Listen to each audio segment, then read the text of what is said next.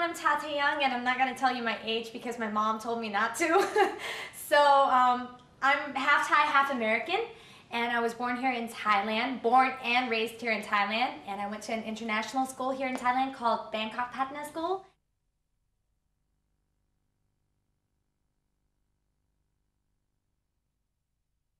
I've been in the music business for now 12 years. So it's been 12 years of um, experience in the music business. And I started off with um, a singing contest. I entered a singing contest and um, I won the contest and then a label, you know, a label record um, approached me and asked me if I wanted to have my own album and that's how I got started. And here I am today, still in the music business and I still love it.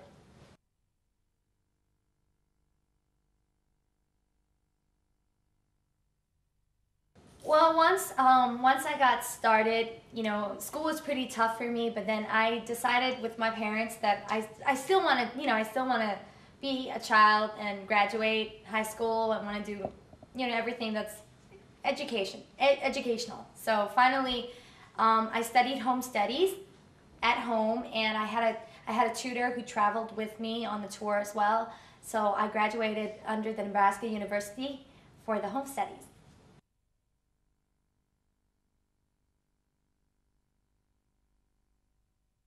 It's you know it's basically all the regular stuff you'd study in school and high, for high school, math, geography, art, you know all that. But it's it's really really fun. But at the same time, it's also really really hard because you have to like push yourself to get up and actually do all this. And sometimes you're just like, oh, I'm so exhausted from work and I don't want to do it. But I finally graduated, happy happy.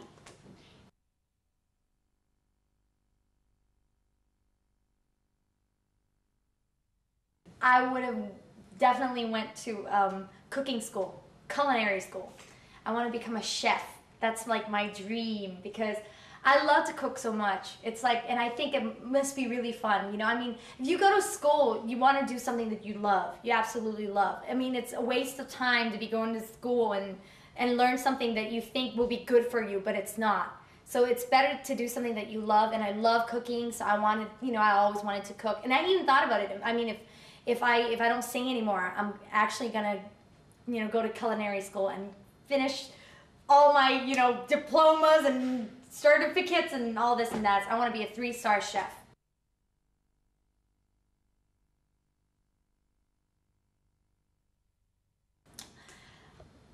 I kind of like to. Um, I like fusion food, but at the same time, I'm not very good at it. I'm very creative, but most of the time you can't eat my creative food. So I, I stick to Italian, I stick to Thai, and all the basic stuff. Fusion maybe, you know, needs, you need a little more experience to kind of like mess around a little. So I don't really have much time to mess around. I gotta cook and I gotta eat and I gotta go to bed. So Italian, Thai. I did learn a bit of Japanese food. Also learned how to make Japanese food, which was really, really a lot of fun. Like you'd never know you have to do so much with sushi rice. It's not just like you, you don't just like make it and that's it. You have to put a lot of stuff in it that, you know, people don't really know, which is, which is really, really cool.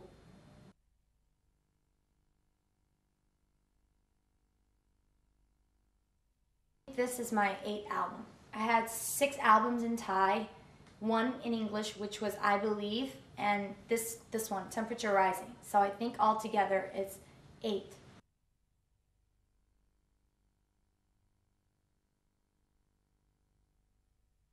Yes, I've done two movies. One is um, The Red Bike Story. It's a romantic comedy.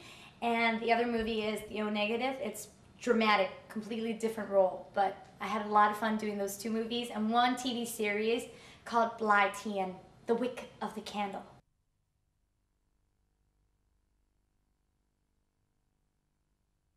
Ooh, I've been dreaming about Hollywood movies. It would it would be great to you know star with such a famous actor or an actress. I don't mind anybody at all.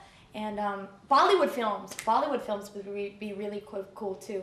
Running around the mountains and singing.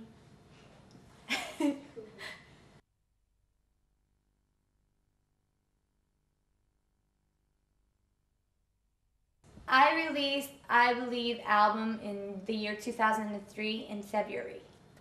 Valentine's Day. Right on Valentine's Day. I remember this because I was available at the time, and it was the loneliest year for me. so I know, but it, it was actually it was lonely, but at the same time the greatest year because something something really big happened to me, which was the album, and I, I was so I was just so happy. I was overwhelmed. It was it was the greatest day of my life, and um, yep, and it's been going on for two years. Unbelievable I mean, it, it, it, we've been running around so much. I mean, people still have so much attention on the album that it's like, for two years, that's all I've been doing, working on I Believe. And then finally, this album, Temperature Rising.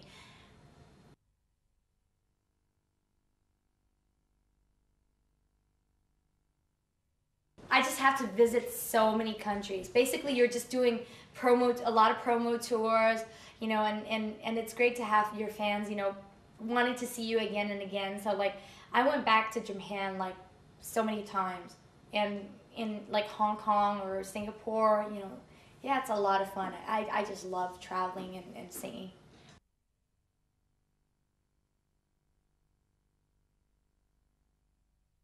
Okay. Japan, yes, Japan is my biggest market. Hi everyone! Japan, love ya, I stay here y'all.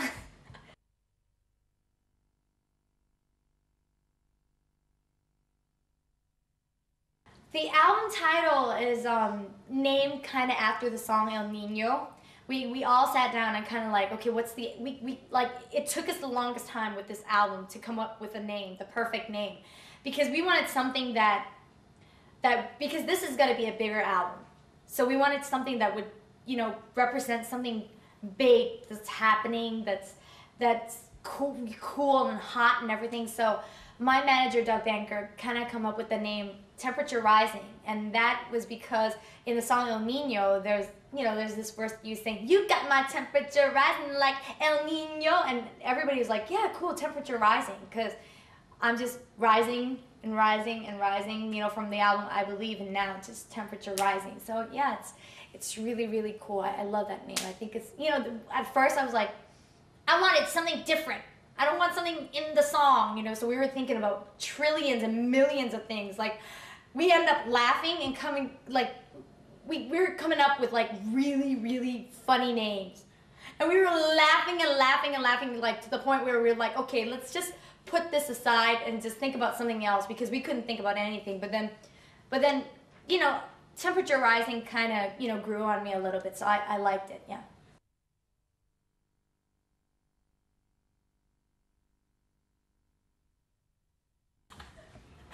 Okay, the funniest one, though, that um, I think my father, right? It was my, was it my father? It was someone. It was it was someone from the gang. There was okay. There was Melanie Giles Clapp, our marketing girls, right there with me, and there's my assistant Moo, and there was my father. We were going to India, and we were sitting down. We were like, okay, what's the album's name? With, and somebody came up with "Love Me, I'm Famous." I mean, like, what?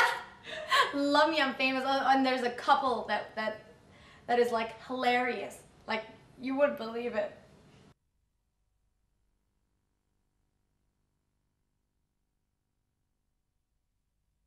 I think we're gonna release it in August, and um, Japan's gonna get the first launch because they've been, you know, the best fans that I've ever had. I sold so many albums there, so I wanted to give them the opportunity of, you know, having the first choice and the first people to get a listen of the album.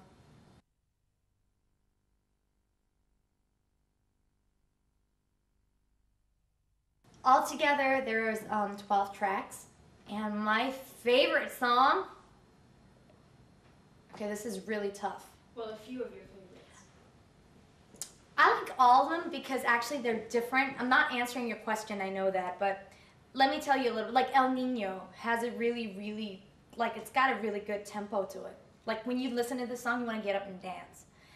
Come Rain Come Shine is like this is another song that every time like I play it, I get up and I can I can I just do something to show that, like I do this. It's like, you know, it's like disco. It's mm. like 80s. So it's like it's really really cool. Back out of this is like updated. You know, when you when you hear it, you're it's like you're hearing NSYNC, Britney Spears. You know, that like the pop pop, the pop thing. Zoom, Zoom was specially written for me, so it's like it's talking about me, and and I love the track. I love I love the way it turned out to be. At first, I, I love the way it was, but it turned out to be better with my voice on it and everything. Um, what else? I like Mila Mila. Mila Mila is also very, very cool. It's a very cool song. Like when I first heard it, I was like, mm, I don't know about it because it's we wanted something that that was like doom, doom, doom. But then it turned out to be a really sexy, cool, chill song. So it, it I guess those are my favorite songs on the album that I really. Uh oh, you can't miss. Uh oh. Uh oh is another song that everybody can. You know, everybody remembers the the. There's this lick that goes. You know, everybody remembers that. Yeah. I can't do it. now you all know I didn't do it.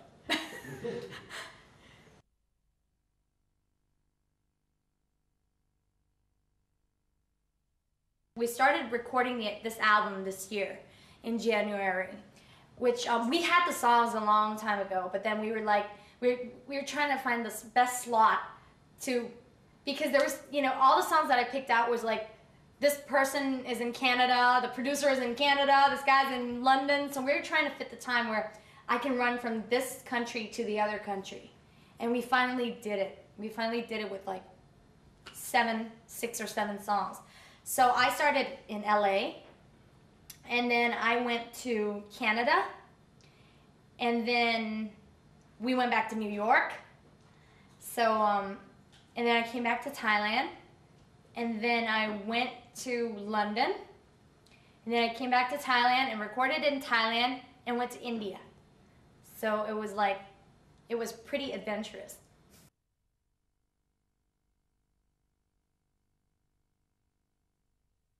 Sony. Sony helped me with, you know, the songs. They they basically spread out the news that there's a new artist and you know and people and we gather a lot of stuff. We want we we told all the people what kind of song we wanted.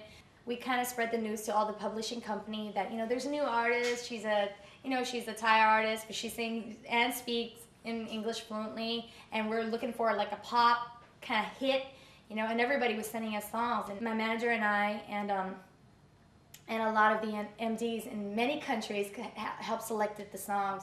So we we finally came down to 12 songs, and I'm so happy. It's just like that's the process. You kind of like. you know, you have to hear so many songs and you're not sure whether it's, if it's really good. You have to go back so many times and kind of kind of listen to it again until you, you, you really, you know, so imagine listening to a thousand songs.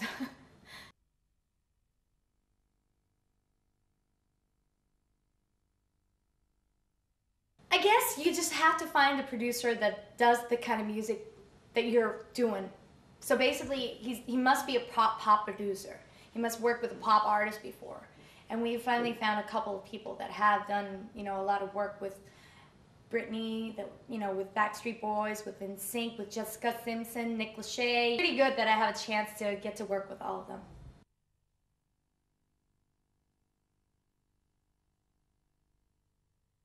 Adam Anders and Nikki Hassman. They wrote Back Out of This and Zoom. And um, they're also my very good friends, so it makes it a lot easier for us to work together. Adam and Nikki actually came to Thailand to record Zoom because my schedule was so, it was so bad. Like I was so busy and I was getting sick. I was getting ill, you know, so, so um, Gerald Tibayawan, he finally called Adam and Nikki said, you know, we really want to do Zoom. But Tata's, re- she's not, she's been traveling so much that it's not healthy for her. I think you guys should come to Thailand. And they said, yeah. So they came to Thailand and we recorded the song and we took a little break, which was very, very nice. I took them around Thailand, you know, showed them around.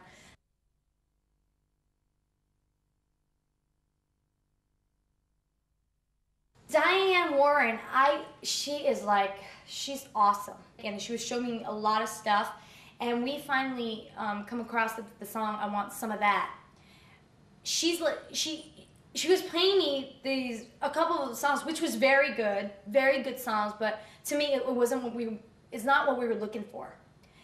Finally, she's like, I, I think I have one perfect song for you. She played me, I want some of that. I'm like, give me some of that. You know, this is what I want. Love it. And, you know, and, and she was so easy. She was so easy with me. She was like, anything you want, I like you. Um, whoever you wanted to, you know, produce, I, I do it. You wanted someone else to do it. You, you need to travel a lot. She was, she was very nice and very kind.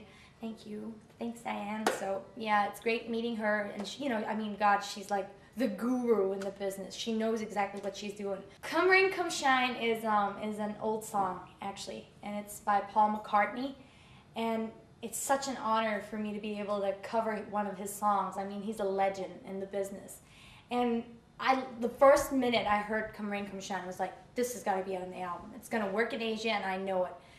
It's um it's a disco kind of feel, you know, and it's it's a real it's a song every time you turn on you want to like you want to jump around the room and start dancing. So I, I know it's going to be a great song.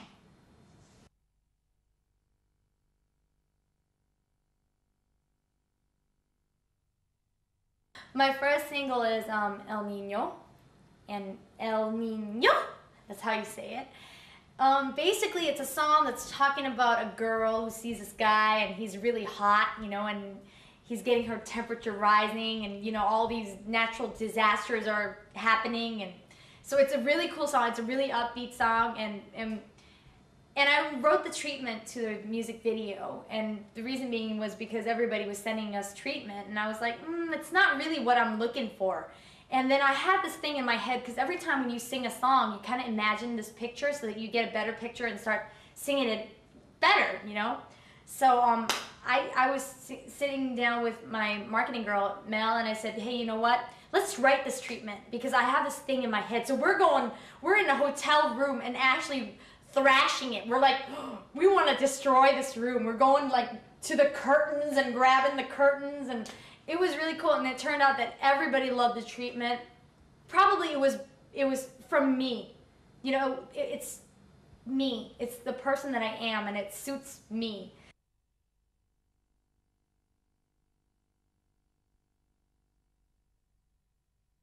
Luck. By luck. I picked out everybody by luck. I mean, to me, sty- stylist is very important for sure because it's my look. I was always known for my look. I had this person, like this personal look that I, you know, that I had with I Believe is a sexy look, and I wanted to find someone who was really, you know, updated and who's really like young and was really hungry and motivated so we finally we finally found the stylist, and her name's Boom. She's great. She's great. I mean, some some of the things I don't know how I don't know how she she was thinking about it, but she came up with the cool stuff that I can I can never imagine. But you know, I'm really lucky to be working with her. Um, hair and makeup. My my makeup artist, her name is Pinot, and she's been working for me like with me for 13 years already since I started in the business and she's still my favorite obviously because you know she knows she knows my face. She knows what I look good what color I look good on and what color I don't look good at all. So she knows me pretty well. Jade we just started working with Jade. He's the hairstylist. And obviously we wanted something really really sexy and really really hot in this album. Something really really girly but at the same time is like stylish. So it's long hair and it's really like sometimes big hair but wavy and natural. I used to get my makeup and hair done within like an hour and a half, but now it's taken me longer and probably I've aged. I'm just kidding. no, probably because we just wanted to um, we wanted to change the style. So a lot of things needed to be more, you know, focused on like the eyes and the hair that, you know, we we wanted to look really good and perfect.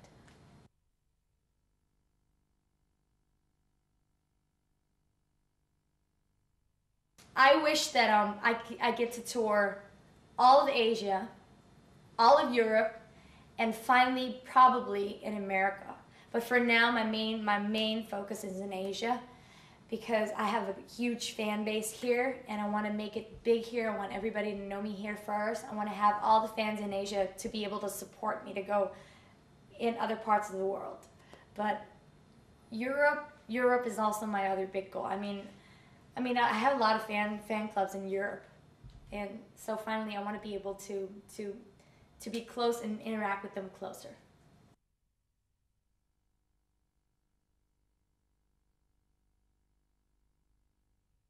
I am a dog person. I have a lot of dogs, and a lot of people, and a lot of them are stray dogs too. And people put them in front of my house because they know that I would never abandon. Like I would take them in. Obviously, they're like my babies, and they give me so much joy. I mean, I can be so sad and just give me an hour with, with my dog. I can be I can be the same person again. I, ha- I still do have a lot of animals. I have fishes, I hamsters, snakes. Yes, snakes, albino too, and um, but my favorite my favorite is dogs, and my favorite dog is a French bulldog.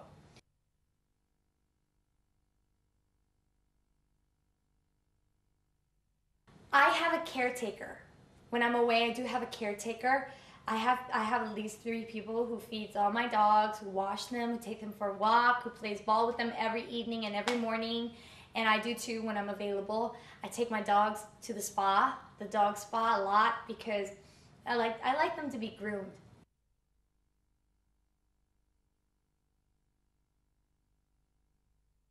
So I take them to like restaurants like my friend's restaurant so they can have you know a little good time and they can have their little dog biscuits while while my friend and I sit and eat. Mm-hmm.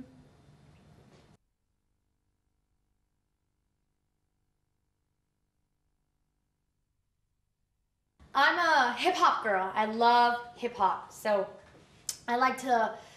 Now my favorite artist is Pussycat Dolls. I think they're very good. But my hip hop artist definitely Snoop Dogg, 50 Cent, um, Dr. Dre, Jay Z. Yeah, Jay Z.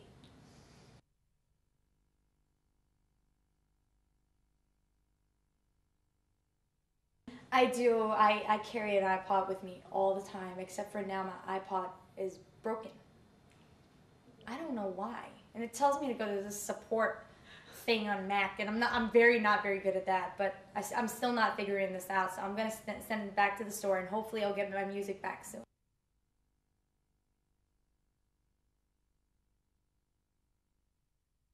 I cannot live without my phone. I need. I sleep with my BlackBerry. I call it Crackberry. It's so addictive. It's so addictive. I swear. I mean, it's it's how I get connected you know, to all my friends around the world. Because email, email.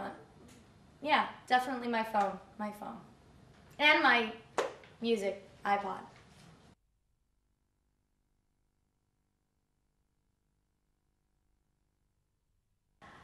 All right, to everybody and anybody that's watching this right now, please, please support my album, Temperature Rising. It's got so many good songs on this album and it's quality. It's good quality. So check it out and please do make any comments you guys want to make. You can actually send in the comments to tatayoung.com and you can also check out the website. It's really, really awesome.